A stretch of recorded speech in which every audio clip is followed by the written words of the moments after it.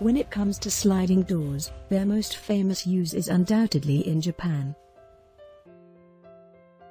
Traditional Japanese structures use elegant sliding doors that are an important part of the country's culture and history.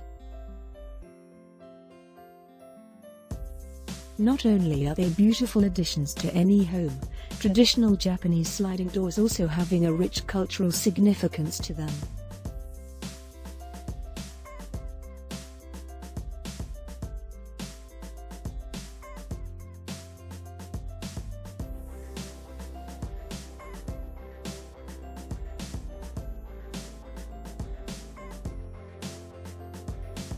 Both Fusuma and Shoji run on wooden rails at the top and bottom. A common distinction is made between Fusuma and Shoji. Fusuma use heavier paper or sometimes cloth and are opaque, serving as a more distinct barrier. Unlike walls, however, Fusuma can easily be removed to rearrange space within the house.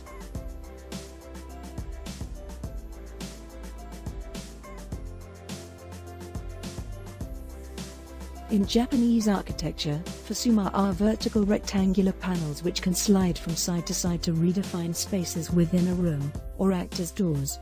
They consist of a lattice-like wooden understructure covered in cardboard and a layer of paper or cloth on both sides. They typically have a black lacquer border and a round finger catch.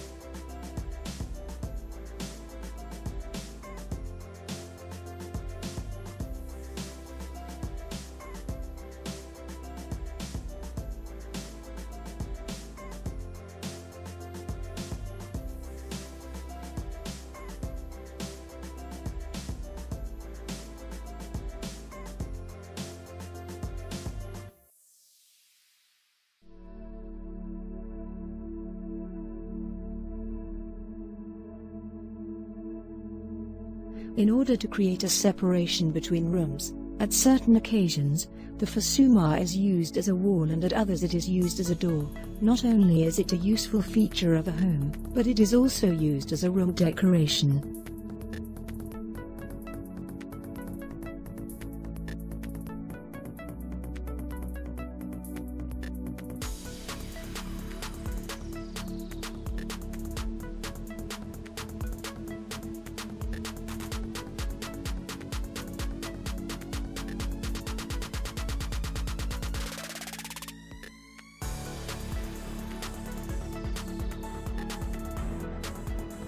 Shoji are lighter than Fusuma, with paper affixed to a wooden lattice.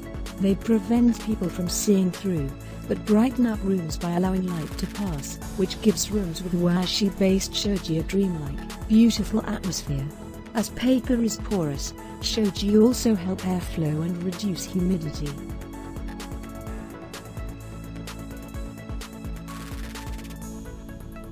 These sliding door and window coverings are fashioned from light wooden frames that have a single large sheet of washi sandwiched between them.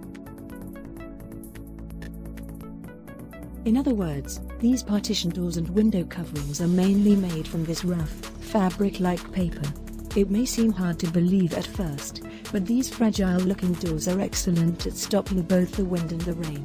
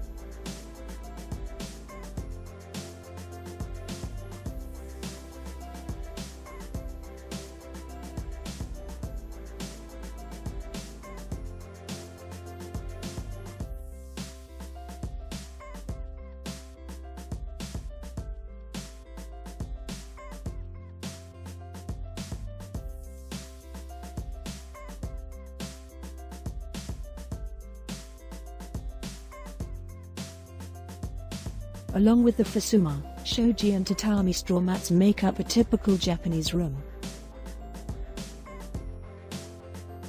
Another panel that creates a traditional Japanese atmosphere in every room, folding screens called byobu.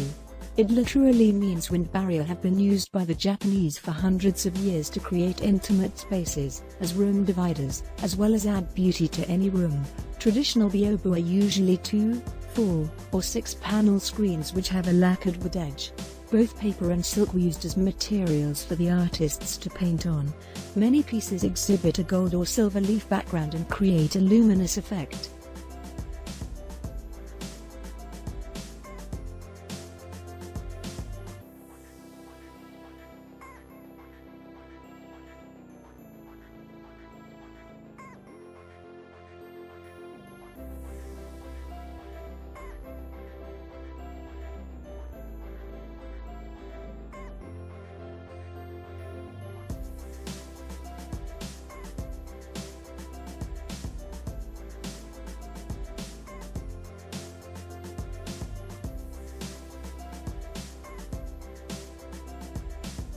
By using the Japanese paper mounting technique karabari, mizubari, the layers of paper were mounted carefully with wheat starch on top of the wood build in the lattice shape. Hinges are uniquely made with paper with the butterfly method, open on both sides, enabling each panel to be connected seamlessly.